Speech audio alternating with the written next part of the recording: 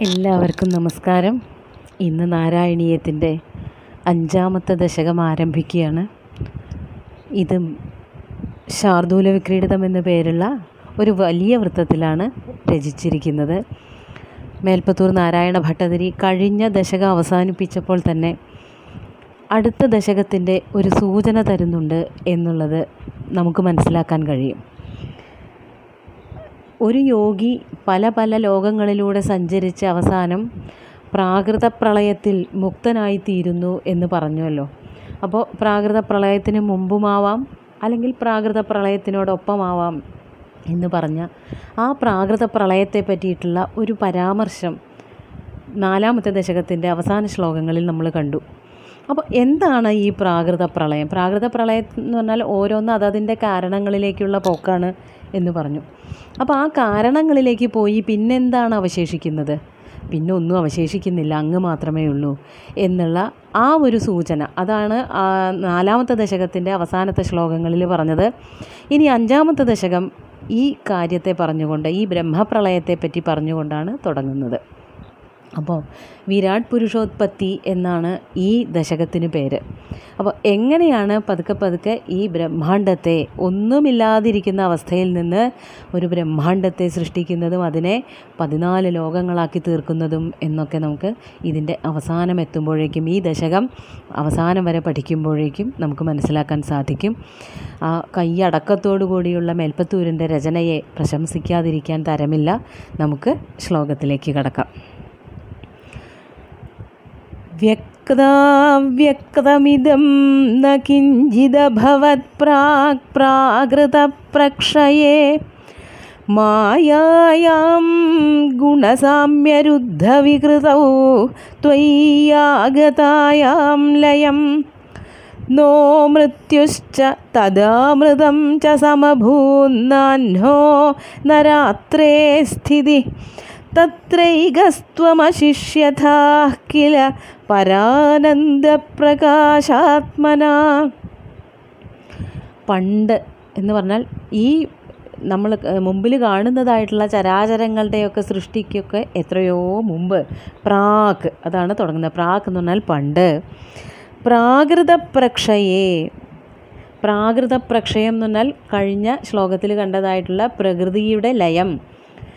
പ്രാകൃത പ്രക്ഷയം മഹാപ്രളയത്തിൽ ബ്രഹ്മപ്രളയത്തിൽ എന്നർത്ഥം.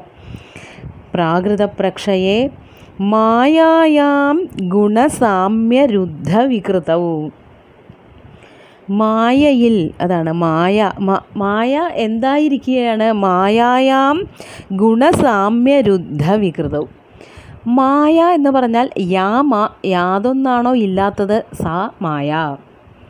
ഇല്ലാത്തതിനെ കാണിച്ചു തരുന്നതാണ്. അതാണ് മായ എന്നാണ് വേദാന്തികൾ പറയുന്നത് അങ്ങനെയാണ്. അപ്പോൾ മായ എന്നുള്ളൊരു തത്വം അത് ഈ ലോകത്തിൽ ഉണ്ട് എന്നുണ്ടെങ്കിൽ മായ ഉണ്ടെങ്കിലേ പ്രപഞ്ചം ഉണ്ടാവുന്നുള്ളൂ.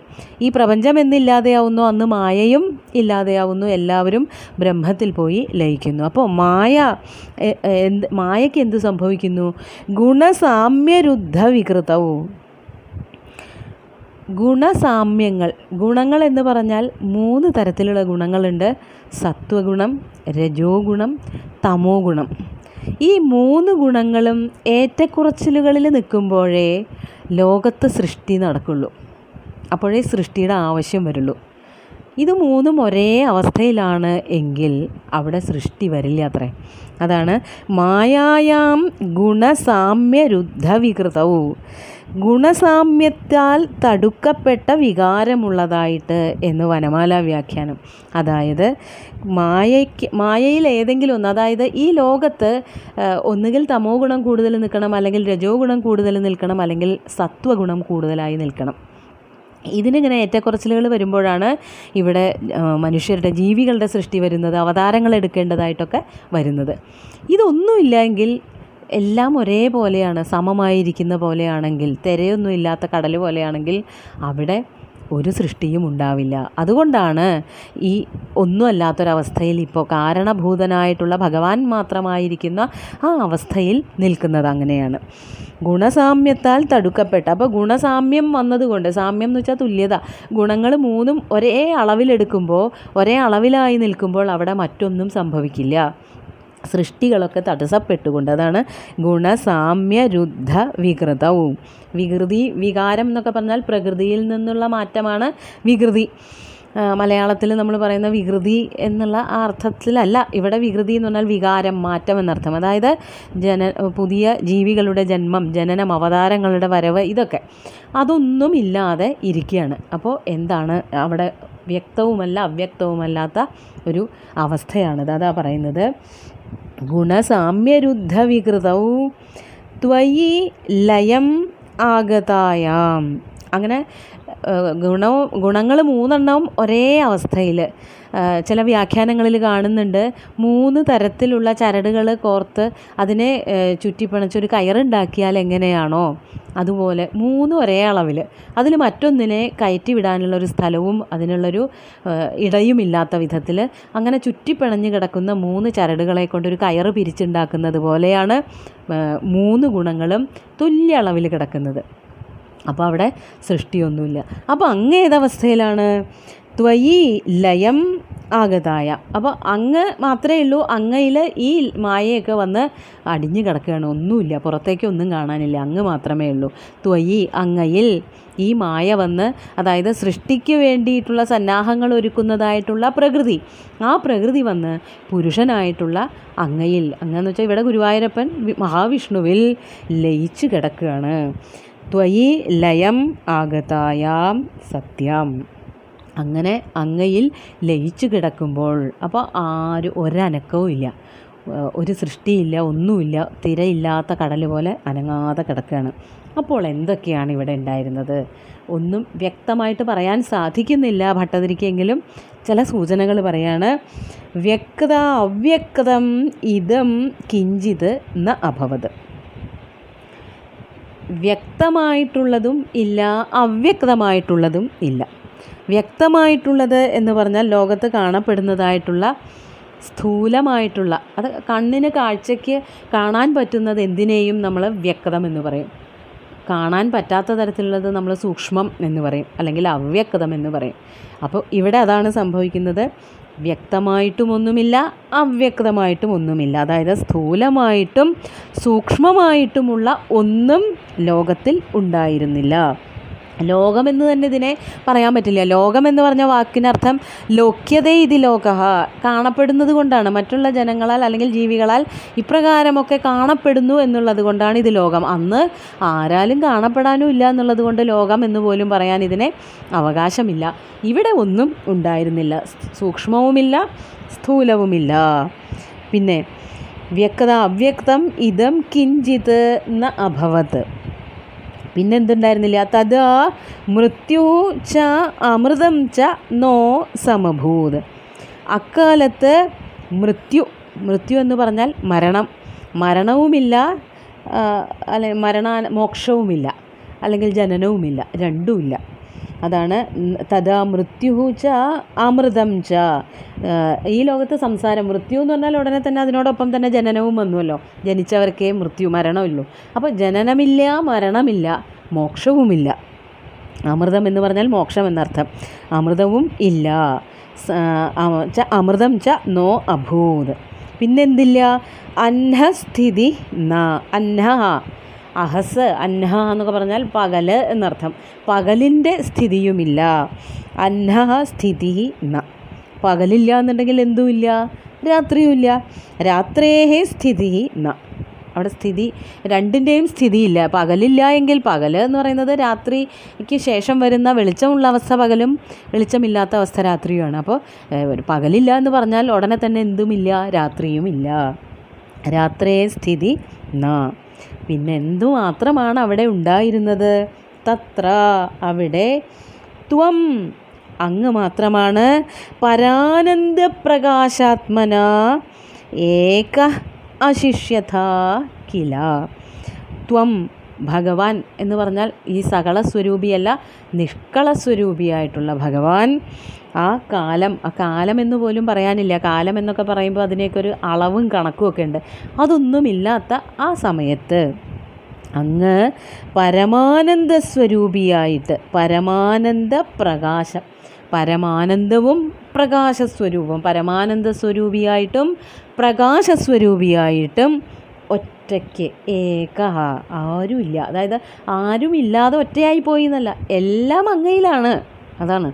ഒന്ന് എല്ലാം കൂടി ചേർന്ന് അങ്ങ് ഒരൊറ്റ തത്വമായിട്ട് ഏകഹ അശിഷ്യഥ അങ്ങ് ഒറ്റയ്ക്ക് അവശേഷിച്ചു അത്രേ കില എന്ന് പറയുമ്പോൾ അങ്ങനെയാണ് പ്രസിദ്ധി എന്ന് പറഞ്ഞാൽ ഇതാരും കണ്ടിട്ടില്ല കേട്ടിട്ടില്ല. ഇത് കഥകളിലൂടെ അല്ലെങ്കിൽ നമ്മുടെ പൂർവികരായിട്ടുള്ള ആചാര്യന്മാർ പറഞ്ഞു പറഞ്ഞ് പഠിപ്പിച്ചു തന്നിട്ടുള്ളതാണ്. കില വാർത്തായാം എന്നർത്ഥം. പണ്ട് മുതലേ കേട്ടുകേൾവി ഇതാണ്. ഇവിടെ ഒന്നും തന്നെ സൂക്ഷ്മമായിട്ടോ സ്ഥൂലമായിട്ടോ അവശേഷിച്ചിരുന്നില്ല. രാത്രിയില്ല പകലില്ല. മരണമില്ല ജനനമില്ല മോക്ഷമില്ല. അങ്ങ് മാത്രമേ ഉള്ളൂ. ആ പരമാനന്ദ സ്വരൂപിയായിട്ടുള്ള ബ്രഹ്മസ്വരൂപിയായിട്ടുള്ള ഭഗവാൻ. അത് മേൽപ്പത്തൂർ നാരായണ ഭട്ടതിരിയുടെ ഭാഷയിൽ അത് ഗുരുവായൂരപ്പൻ തന്നെയാണ്. അല്ലെങ്കിൽ മഹാവിഷ്ണു തന്നെയാണ്. അങ്ങ് മാത്രമേ ഉണ്ടായിരുന്നുള്ളൂ. അങ്ങയിൽ എല്ലാം വന്ന് ലയിച്ചിരിക്കുകയാണ് എന്ന് ആണ് ഇതുകൊണ്ട് സൂചിപ്പിക്കുന്നത്. അപ്പോൾ അവിടെ നിന്ന് ഇനി പതുക്കെ പതുക്കെ ഒരു ചലനവും ഈക്ഷണവും ഒക്കെ വന്നിട്ട് പതുക്കെ ഒരു സൃഷ്ടിയിലേക്കുള്ള പോക്കാണ് നമ്മൾ പറയാൻ പോകുന്നത് അടുത്തടുത്ത ശ്ലോകത്തിൽ അതൊക്കെയാണ് വരുന്നത്. ഈ ശ്ലോകത്തിൽ ഈ ശ്ലോകത്തിന് ഋഗ്വേദത്തിലെ നാസദീയ സൂക്തങ്ങൾ എന്ന് പറഞ്ഞിട്ട് ഒരു പ്രത്യേകതരം സൂക്തങ്ങളുണ്ട്. പത്താം മണ്ഡലത്തിൽ നൂറ്റി ഇരുപത്തി ഒമ്പതാമത്തെ സൂക്തങ്ങളിൽ ആകെ ഏഴ് മന്ത്രങ്ങളേ ഉള്ളൂ. അതിലും ഇതൊക്കെ തന്നെയാണ് പറയുന്നത് എന്ന് എന്റെ അച്ഛൻ പറയുണ്ടായി അച്ഛൻ എന്നോട് പറഞ്ഞിരുന്നു ഈ ശ്ലോകം പഠിക്കുമ്പോൾ ആ ഭാഗം ഋഗ്വേദത്തിന്റെ നാസദീയ സൂക്തങ്ങൾ നീ ഒന്ന് നോക്കണമെന്ന് പറഞ്ഞിരുന്നു. അപ്പോൾ അത് നോക്കിയപ്പോൾ ഇതേ ആശയം തന്നെയാണ് അവിടെ പറഞ്ഞു വച്ചിരിക്കുന്നത് എന്ന് മനസ്സിലാക്കാൻ നമുക്ക് സാധിക്കും. അവിടെ നാസദാസീന്നോ സദാസീത് തദാനീം സത്തുമില്ല അസത്തുമില്ല. നാസീത് രജോ നോ വ്യോമോ പരോയത് രജസ് രജ രജസ് എന്ന് പറഞ്ഞാൽ ഇവിടെ നമ്മുടെ ഈ അന്തരീക്ഷത്തിനെയാണ് ഉദ്ദേശിക്കുന്നത്. വ്യോമം വ്യോമം എന്ന് പറഞ്ഞാൽ അതിനു മുകളിലുള്ളതായിട്ടുള്ള ആ ഒരു പ്രദേശം. അതുമില്ല. കിമാവരീവ കുഹകസ്യ ശർമ്മൻ അംഭ കിമാസീത് ഗഹനം ഗഭീരം എന്ന് തുടങ്ങുന്ന ഇവിടെ വെള്ളമില്ല അതുപോലെ ആകാശമില്ല ആകാശമില്ല വായുവില്ല. വായു ഇല്ലാതെ തന്നെ ജനങ്ങൾ അല്ലെങ്കിൽ ശ്വാസം നടന്നിരുന്നു. രാത്രിയില്ല പകലില്ല ന മൃത്യുരാസീത് അമൃതം ന തർഹി. ഇതൊക്കെ അതിലുള്ള വാക്കുകളാണ്. നാസദീയ സൂക്തത്തിൽ ത്രിഷ് ത്രഷ്ടുഭ് എന്ന് പറയുന്ന ഒരു വൃത്തത്തിലാണ് അത് എഴുതിയിരിക്കുന്നത്. വേദങ്ങൾ ഇങ്ങനെയല്ല ചൊല്ല എന്നാലും ഞാനൊന്ന് സൂചിപ്പിച്ചു എന്ന് മാത്രം നാസദീയ സൂക്തത്തിന്റെ നല്ലൊരു സ്വാധീനം മേൽപ്പത്തൂർ ഭട്ടതിരിക്ക് ഈ ശ്ലോകം എഴുതാൻ കിട്ടിയിട്ടുണ്ട് എന്നുള്ളത് ഞാൻ മനസ്സിലാക്കിയത് അച്ഛൻ വഴിക്കാണ്. അച്ഛനാണ് എന്നോട് പറഞ്ഞത്. അപ്പോൾ ഇങ്ങനെ ഇങ്ങനെ പതുക്കെ പതുക്കെ അവസാനം പറയും. അവസാനം ഒരു കാമമുണ്ടായി.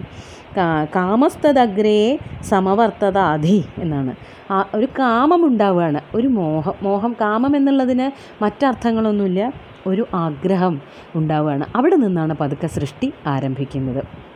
അപ്പോൾ സൃഷ്ടിക്ക് മുമ്പ് ആഗ്രഹം ഉണ്ടാവണം എന്നുള്ളത് നമ്മളെല്ലാവരും മനസ്സിലാക്കണം. നമ്മൾക്കൊക്കെ എല്ലാവർക്കും അറിയാം ഏതൊരു സൃഷ്ടിയും കലാസൃഷ്ടിയായിക്കോട്ടെ മറ്റ് ആ, എന്ത് പഠിപ്പിക്കലായിക്കോട്ടെ അത് എന്ത് സൃഷ്ടികളായാലും മക്കളെ ജനിക്കുമ്പോഴാവണം ആണെങ്കിൽ പോലും ആ കുട്ടികളെ നമ്മൾ മുന്നിൽ കണ്ടുകൊണ്ട് നമുക്കുണ്ടാകാൻ നമുക്ക് കുട്ടികൾ ഉണ്ടാകണം. അല്ലെങ്കിൽ നമ്മൾ ഉണ്ടാക്കുന്ന സൃഷ്ടികൾ നം എങ്ങനെയാവണം എന്നുള്ളൊരു ചിന്തയോടുകൂടി വേണം. അതാണ് ആദ്യമേ ആ ചിന്ത വേണം എന്ന് പറയുന്നത്. അബദ്ധത്തിൽ ഒരു സൃഷ്ടി ഉണ്ടാവുമ്പോൾ അതിന് അതിന്റേതായ കുറവുകൾ തീർച്ചയായിട്ടും ഉണ്ടാവും. അപ്പോൾ മനസ്സാദ്യം കാമിക്കണം ഒരു ജന്മത്തിന് വേണ്ടിയിട്ട് ഒരു സൃഷ്ടിക്ക് വേണ്ടിയിട്ട്. എന്നിട്ടാണ് സൃഷ്ടി നടത്തേണ്ടത്. അപ്പോൾ ആ സൃഷ്ടിക്ക് കുറേയൊക്കെ എങ്കിലും മനുഷ്യരാണ് എങ്കിലും അതിന്റേതായ കുറേയൊക്കെ പരിപൂർണത അതിൽ കാണാൻ നമുക്ക് സാധിക്കും. അപ്പോൾ താല്പര്യമുള്ള ആൾക്കാർ ആ നാസദീയ സൂക്തങ്ങളൊന്ന് എടുത്തു നോക്കിയാൽ നെറ്റിലൊക്കെ കാണാൻ പറ്റും നമുക്കത് വായിച്ചെടുക്കാനും പറ്റും. ഇന്നത്തെ കാലത്ത് അതിനെല്ലാവരും കുറേ ഇംഗ്ലീഷിൽ കുറേ പേര് വ്യാഖ്യാനം എഴുതിയിട്ടുണ്ട്. വിവേകാനന്ദൻ മാക്ഡൊണൽ അതുപോലെ Max Muller H H Wilson തുടങ്ങിയിട്ടുള്ളവരൊക്കെ ഈ മന്ത്രങ്ങളെ ഇംഗ്ലീഷിലേക്ക് തർജമ ചെയ്തിട്ടുണ്ട്. അത് വായിച്ചു നോക്കാനും സാധിക്കും. അപ്പോൾ ഇത് എത്ര കണ്ട് ഈ എന്താണ് സൃഷ്ടിക്ക് മുമ്പ് അതായത് എല്ലാം തുടങ്ങുന്നതിന് മുമ്പുണ്ടായിരുന്ന ഒരവസ്ഥ വേദത്തിൽ എങ്ങനെയാണ് പറഞ്ഞിരിക്കുന്നത് എന്നുള്ളത് മേൽപ്പത്തൂർ നാരായണ ഭട്ടതിരി നന്നായി വായിച്ചിട്ട് തന്നെയാണ് ഈ ശ്ലോകം എഴുതിയത് എന്ന് നമുക്ക് മനസ്സിലാക്കാൻ സാധിക്കും. നമുക്ക് ശ്ലോകത്തിലേക്ക് ഒന്നുകൂടി കിടക്കാം. व्यक्ताव्यक्तमिदं न किञ्चिदभवत्प्राक् प्राकृतप्रक्षये मायायां गुणसाम्यरुद्धविकृतौ त्वय्यागतायां लयं नो मृत्युश्च तदामृतं च समभून्नाह्नो न रात्रे स्थितिः तत्रैकस्त्वमशिष्यथा किल പരാനന്ദപ്രകാശാത്മന. അങ്ങനെ എല്ലാത്തിനെയും ഉള്ളിൽ ഒളിപ്പിച്ചുകൊണ്ട് ആ ശുദ്ധ ബ്രഹ്മസ്വരൂപിയായിട്ട് കാരണജലത്തിൽ പള്ളി കൊള്ളുന്നവനായിട്ടുള്ള ആ ഗുരുവായൂരപ്പൻ. അദ്ദേഹത്തിന്റെ ഒരു ലീലകളും അപ്പം നടക്കുന്നില്ല ഒന്നിന്റെയും ആവശ്യമില്ല. അപ്പം ലീലകളൊക്കെ പിന്നെ പിന്നെയാണ് അവതാരങ്ങളും ലീലകളൊക്കെ പിന്നെ പിന്നെയാണ് വരുന്നത് എന്ന് കഥകളിലൂടെ പോകുമ്പോൾ നമുക്ക് കാണാൻ സാധിക്കും. അങ്ങനെ കാരണജലത്തിൽ പള്ളി കൊള്ളുന്ന ആ ഗുരുവായൂരപ്പന്റെ കാൽക്കൽ നമസ്കരിച്ചുകൊണ്ട് ഇന്നത്തേക്ക് നിർത്തട്ടെ. നന്ദി നമസ്കാരം.